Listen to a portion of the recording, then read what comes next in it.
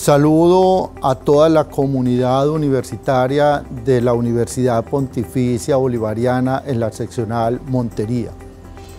Quiero darles la bienvenida a este 2022. Ya hemos iniciado nuestras labores académicas con mucha alegría. Ustedes seguramente allí están disfrutando también de ese hermoso ecocampus que tenemos en esta ciudad de Montería. Este año es muy significativo también para la seccional. El padre Jorge Bedoya ha terminado ya su periodo rectoral y quiero agradecerle muy profundamente todo ese trabajo que realizó en todo este tiempo, 10 años allí eh, acompañándolos, eh, mirando los proyectos, desarrollándolos y dejando todo una estela de trabajo, de conocimiento, de organización, de fortalezas en la seccional que cada uno de ustedes lo puede comprobar. Así que quiero agradecerle muy particularmente al padre Jorge, a todo su equipo de trabajo que lo acompañaron, porque en esto no es uno solo el que trabaja, es todo ese grupo que se compromete, que lo apoya, que lo fortalece y que lo respalda y por eso tenemos una seccional hoy muy fortalecida.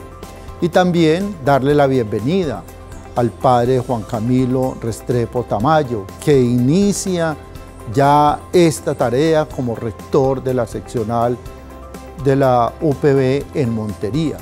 padre Juan Camilo ha recibido con mucho entusiasmo, con mucha alegría, este llamado a este servicio por parte de la iglesia y la universidad y Él sabrá poner al servicio de todos ustedes todo su conocimiento, toda esa fortaleza, esa juventud que tiene, todas esas energías y que seguramente ustedes también, como lo hicieron con el Padre Jorge, lo van a estar apoyando permanentemente para que su ejercicio rectoral sea tan exitoso y igualmente continúe trabajando con ese proyecto académico de nuestra universidad.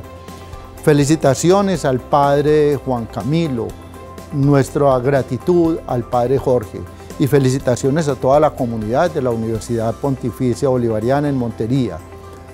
Un buen año, este 2022, tenemos que asumirlo con mucha esperanza, con mucho sentido de pertenencia y también cuidándonos mucho observando todas las medidas de, bioseguridad que tenemos previstas para que podamos mantener esta presencialidad muy activa y así sigamos construyendo esta UPB sin límites.